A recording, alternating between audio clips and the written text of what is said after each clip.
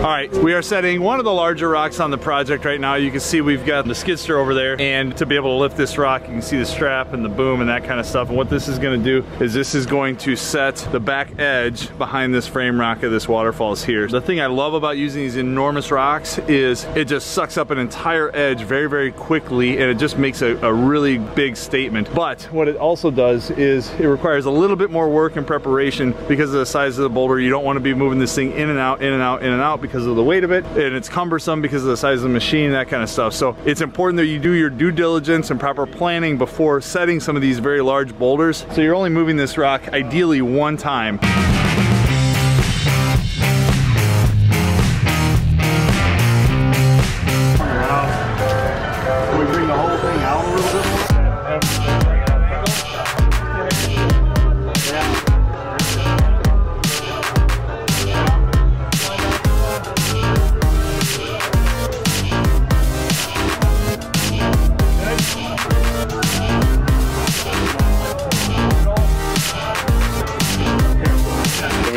Interesting rock. That's just gonna be that wash of cobbles kind of blasting through all that stuff. Backfill that with gravel. We gotta get a cantilevered rock kind of coming out over that to stabilize that log, keep that from floating. And then once we start layering that in, we wanna kind of create a staircase effect. So we're gonna have two waterfalls coming in over here. So we have this incredible stone that just sets the stage for everything, lines up, you know, it just dominates. It's also setting the back elevation for our wetland. So we wanna have asymmetrical waterfalls. So I like working in rectangles. You heard me say this before. So I like either tall, narrow waterfalls or short, wide ones. So just big rectangle type things. So this one, I'm almost thinking a wide fall and maybe two or three falls cascading down. Lots of sound, lots of oxygen. When we're talking about a recreational pond, we want to have high dissolved oxygen. We also want to have that big push of water.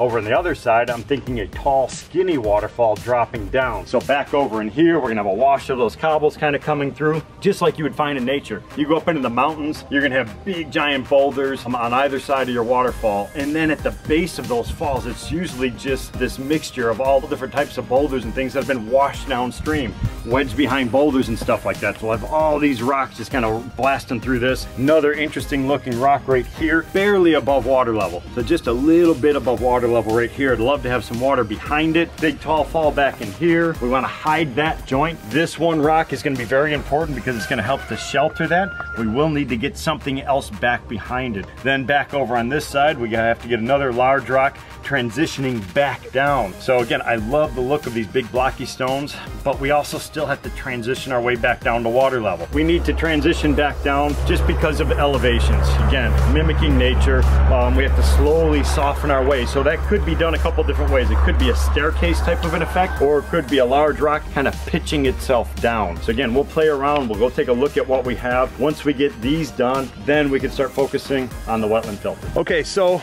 last part we checked in with the video was we were setting this log and then we had started talking about the waterfall area that was coming in through here. As you can see, there's been a series of rocks that have been placed with the intent of building this main waterfall coming into the pond. It might be deceiving, and it was actually tricky for some of us as we were kind of standing back and looking at the rocks and trying to determine where water level was. But water level for the pond is actually right about here. So this rock will be completely submerged in water. Right now, this boulder feels enormous sitting the way that it is with no water in the pond and for a variety of reasons. But the effort is going to be large frame rock here, one that's a little bit lower. We'll get probably a eight inch waterfall, nice and wide back here. And then we'll just do a double drop. So we'll have another waterfall directly behind it, probably at a little bit different of a angle, the way the waterfall falls. But this rock right here will double up as a frame rock for two waterfalls. So there will end up being another frame rock back behind this framing out that top waterfalls. And if I'm correct,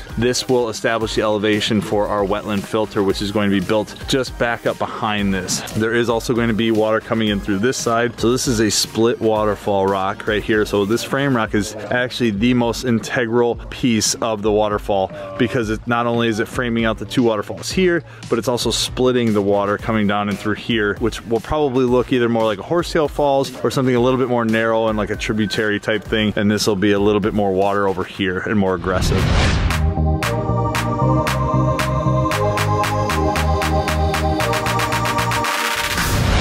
We are setting one of the larger rocks on the project right now. You can see we've got the skid steer over there and to be able to lift this rock, you can see the strap and the boom and that kind of stuff. And what this is gonna do is this is going to set the back edge behind this frame rock of this waterfalls here. You wanna be able to give yourself that flexibility to be creative and get the angle that you want for it. Make sure you excavate for the proper depth, so on and so forth. So have a vision or a plan in mind when using these big boulders. It just makes your life so much easier to do all of that initial prep work, which we just did by over excavating all this area. We actually did this entire edge with the intent that we're gonna come in here with some of these massive rocks. So we just went ahead and overdug everything so that we could just start slamming rocks in place. And that's the beauty of working with the EPDM liner is it's flexible, it's malleable, we can move it back and forth, back and forth. Once those rocks are set to be able to backfill behind them and that kind of stuff. So I love using the EPDM is because we can really manipulate the shapes of the ponds and really carve these things in and giving it that wonderful shape. So Ed's gonna come over here and he's gonna go ahead and set this big rock. Ed, I was talking about why it's essential to kind of do your due diligence and the proper planning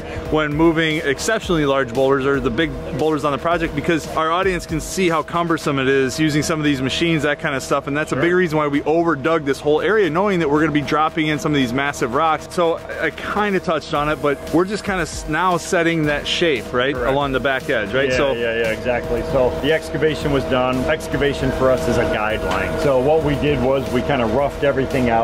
Once we start getting some of those base boulders, we always want to let the rocks talk for us. So by having that extra liner, starting with that lower section, which we knew that was a given spot. The top edge could be more fragmented. Now what we do is we can fold the liner in. Once we pick out the rock, we can measure it. We know exactly how much room we need. We know the height, the depth, all that stuff. Now we can come in, dig that material out, put the liner back in place. Again, this is slow. I mean, it's you're where each rock is individually pieced and carved into position. It's not like we're just digging a hole and then just randomly boom, boom, boom, boom, boom, dropping in rocks. We want to let the rocks talk for us and we can manipulate everything. So it really kind of gives that flow that we're looking for. Again, when we're talking about naturalistic water features, I think that's the name of the game. Having those rocks kind of extend out beyond the area, creating little plant pockets, tying into seat walls, having different grade chains, all those little subtle things will make all the difference in the world, and that's what it's about. And I think what's also really, really neat about this is you can scale it down. We're using the same system that we use on our 4x6, 7x9s, 8x11, 11x16s, all of our pond kits.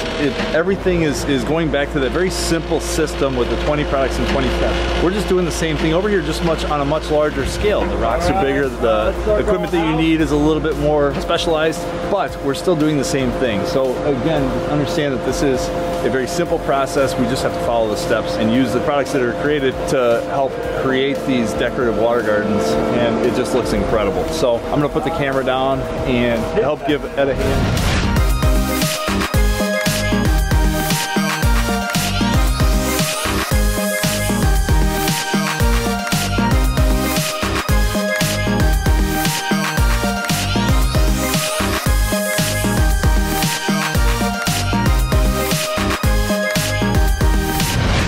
See the grade has been raised up significantly so we've eaten up a big portion of that pile that we had back behind the guys and brought it in over here to create elevation for the wetland filter. This is going to be the rough layout of the aqua blocks. We'll have a snorkel and two centipedes in here as well. So Ed, explain real quick why we're setting up the configuration of the aqua blocks the way that we are, just in the event that, or with the thinking behind it, how the rest of the water feature is going to tie in Yep. with the wetland filter. So we have a couple different things that we're working with here. One, we have obviously the back edge of the pond, and then we also have this, this structure that's going up. I'm actually standing right on the edge of this wall. So what we did was instead of making the wetland with four aqua blocks wide, which is normally what I try to do. So that's gonna give us good water distribution, great filtration, everything. What we did was we lengthened it up and we took that fourth row off. So now we're only doing three aqua blocks, but we added on two to the other end. So we're, and that we'll, we'll end up with the same volume of filtration. We just kind of changed it around. That's what I like about stuff. Whenever we're designing and building, I love having flexibility. So working with a modular type system that we've created, working with the snorkel, the centipede, the aqua blocks, we can cut and paste and we can reconfigure things according to the different site parameters. And it's exactly what we're doing here. Solid wall on one side that's already been established for that waterfall. New walls going here. We have to change it like this. Otherwise, I mean, we do have other options. We could slide it all the way that way, but then it's gonna start spreading stuff out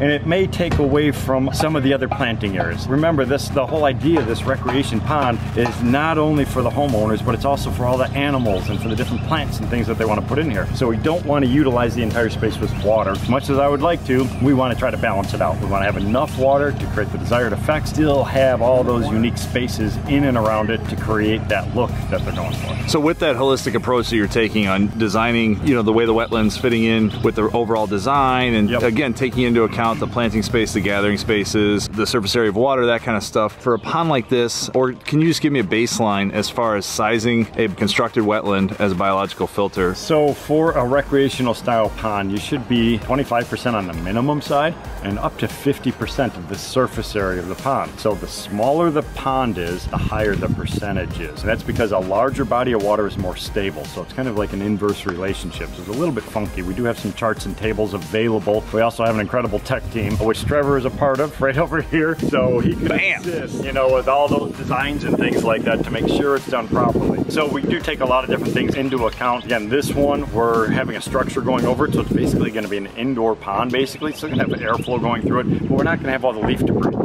So leaf debris coming in, even though we have intakes and things like that, that's what's gonna pollute the water. That's what's one of the things that's gonna cause problems. So we could actually manipulate that size a little bit, given some of that extra information. So again, recreational ponds, higher surface area, higher filtration. If this was a traditional koi pond, this wetland would be half of this size and it would be more than enough. Again, there's different requirements that are necessary for people to get in the water versus just fish.